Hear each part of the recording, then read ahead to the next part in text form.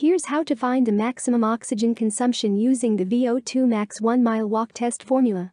VO2 stands for the volume of oxygen the body uses each minute.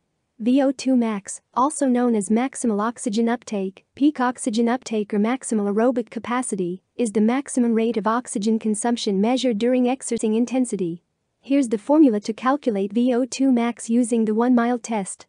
To use this formula, you need to administer the 1 mile test and make note of the following data weight, age, gender, finish time, and heart rate at the end of the test. Here's a quick example. Bob is a 25 year old male that finishes the 1 mile walk test in 10 minutes. After the test, his heart rate was 80 beats per minute. Based on data in this example, what is Bob's VO2 max? Here are the steps to find out. Step 1. Make note of the data needed for the formula. Step 2.